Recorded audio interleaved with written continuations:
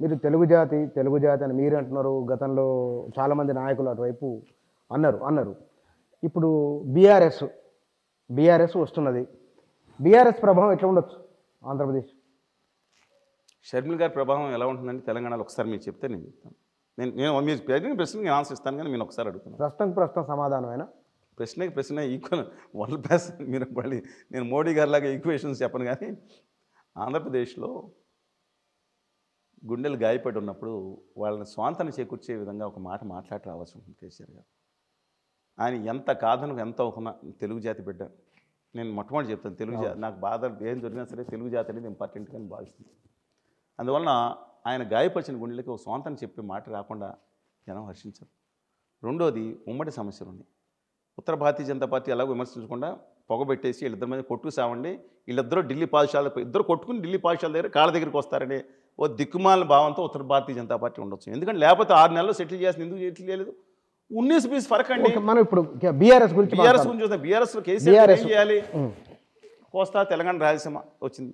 ఏంటంటే ఓ రూపాయి అటు ఇటో ఉన్నీస్ బీస్ ఫరక్ అవనమండి ఓ తెలంగాణ సోదరుడు తీసుకుంటాడు కోస్తా సోదరుడు రూపాయి ఉమ్మడి ఆస్తి విషయం సెటిల్ చేయొచ్చు కదా? ఒక రూపాయి ఎక్కువ తక్కువ ఆయన దగ్గర ఉన్న సమస్య ఆయన సెటిల్ చేసి అరే బాయ్ ఇలా నేను చేశాను అనుకుని వస్తే తప్పేందండి వస్తే?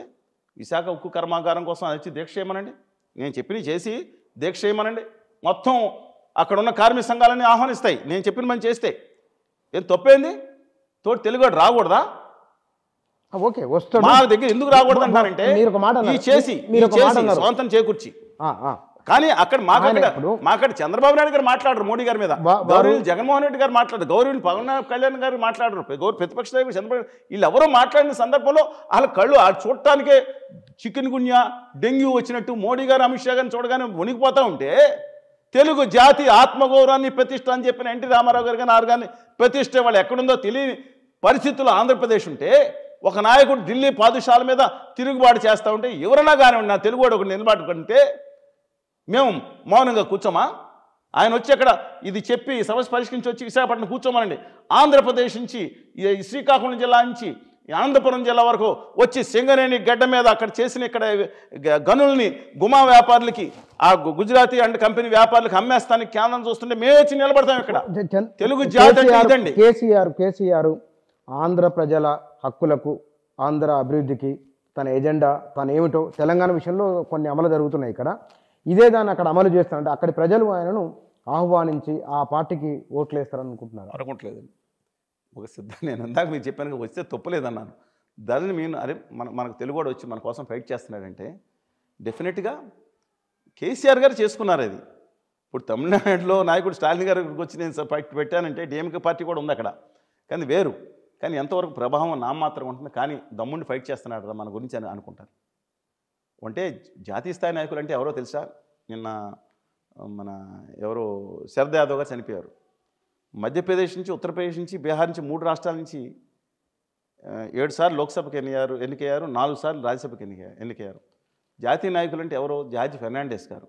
ఆయన ఏ ఊరు ఎక్కడి నుంచి కర్ణాటకలో మాల్ ప్రాంత ప్రాంతం నుంచి వచ్చి మళ్ళీ కర్ణాటక బెంగళూరు వచ్చి బొంబాయి నుంచి ఉద్యమం నడిపి ఎన్నికై అక్కడి నుంచి జైల్లో ఉండి బీహార్ నుంచి నాలుగు లక్షల ఏడు ఎన్నికైన గొప్ప జాతీయ నేత. అలాంటి వాళ్ళు జాతీయ నాయకులు. అంటే కేసీఆర్ కదా KCR garu in the formation transformation is in transformation. ఎందుకంటే మీకు చిన్న విషయం చెప్తాను. ఎన్పీపీ చిన్న చిన్న పార్టీలు ఉన్నాయి. జాతీయ పార్టీలు ఏమన్నాయి రాష్ట్ర దేశంలో చెప్పండి? సిపిఐ సిపిఎం జాతీయ హోదా కోల్పోయే అవకాశాలు ఉన్నాయి రెండు వేల తొమ్మిదికి రెండు వేల ఇరవై తొమ్మిదికి. కానీ అస్సాంలో ఉన్న చిన్న పార్టీ మేఘాలయ ఉన్న చిన్న పార్టీ జాతీయ పా ఇప్పుడు జాతీయ పార్టీ నెట్లో కొట్టండి తెలుస్తుంది ఎందుకని? ఒక్కో రాష్ట్రంలో ఫైవ్ పర్సెంట్ ఓట్లు రావాలి. ఓ రాష్ట్రం పది లక్షలు పదిహేను లక్షల పాపులేషన్ ఉంది. అక్కడికి వెళ్ళి ఇప్పుడు ఎన్సీపీ నేషనల్ మన మన శరదపవార్ గారి పార్టీ జాతీయ పార్టీ. కేసీఆర్ గారి ఉద్దేశం కూడా ఎవరైతే తన హోమ్ టర్ఫ్ ఇప్పుడు ఏమవుతుందంటే అండి మోడీ గారికి వాళ్ళంతా యుద్ధం వాళ్ళ సేఫ్ ప్లేస్లో ఉండి ఇక్కడ యుద్ధం చేస్తున్నారు. యుద్ధం తెలుసు కదా మీకు. అమెరికా వాళ్ళకి ఒక నానుడు ఉంది. అమెరికా వాళ్ళు యుద్ధాల్లో చనిపోయింది. ఒక్కళ్ళు కూడా ఈ గత యాభై వంద సంవత్సరాలు లెక్కేసుకుంటే ఒక్కళ్ళు కూడా వారి సరిహద్దులు చనిపోలేదు. విదేశాల్లో చనిపోయారు. వాళ్ళ వాళ్ళ భూభాగం మీద యుద్ధం జరగనివ్వరు వాళ్ళు. మీకు అర్థమైంది కదా?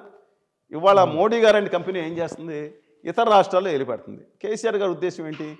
నువ్వు నాట్లు పెడితే నేను కూడా నీ దగ్గరికి వస్తా. ఎందుకంటే అంటున్నా అంటే వందే భారత్ ట్రైను ఎప్పుడో మూడేళ్ళ క్రితం ఢిల్లీ నుంచి ఆయన కాన్స్టిట్యున్సీకి వేసుకుని మూడేళ్ళ తర్వాత తెలంగాణకి ఆంధ్రప్రదేశ్ తీసుకొచ్చి చప్పట్లు కొట్టుకోండి పుల్లారెడ్డి స్పీట్లు కాదు ఆయన ఫస్ట్ అక్కడ వేసుకున్నారు. ప్రజెంట్ కేసీఆర్ మీద ఆంధ్ర ప్రజల ఒపీనియన్ ఎట్లా ఉంది? ఆ రోజు ఉన్న గు- గుండెలో గాయం ఇంకా అలాగే ఉందండి చాలామందికి. ఇది నేను వాస్తవం. నేనేమో ఆయన మీద కోపంతో ఆ తెలుగు జాతి బిడ్డగా నేను భావించినప్పుడు ఆ రోజు నాకు కూడా గాయం ఉన్నా. ఆ పాత ఉన్న గాయం అయితే చాలా మందిలో బాధ ఉంది. నేను విశాఖపట్నం పెట్టి ఈ మాట అనగానే విలేకరులే ఆంధ్రప్రదేశ్కి సంబంధించిన విలేకరులే సార్ మీరు అలా అంటారు సార్ ఆ రోజు ఎంతమంది బాధ బాధ కలిగింది కదా సార్ అంత కలిగింది. కాదంటలేదు. ఇవాళ ఇంకా బాధ చేస్తుంది కేంద్రంలో మోడీ గారు అమిత్ షా గారు అండ్ కంపెనీ. ఆంధ్రప్రదేశ్కి మన మన రాజకీయ నాయకులకి విలువ లేకుండా చేస్తున్నారు. ఢిల్లీలో వెళ్ళి అపాయింట్మెంట్ కోసం చంద్రబాబు నాయుడు గారిని సంవత్సరం పాటు ఏడిపించారంటే జగన్ గారు అండ్ కం ఆంధ్ర పార్టీ వాళ్ళు ఆనందపడతా ఉంటారు. జగన్ గారికి అపాయింట్మెంట్ ఇవ్వలేదంటే చంద్రబాబు నాయుడు గారి పార్టీ ఆనందపడుతుంది ఇదే అండి?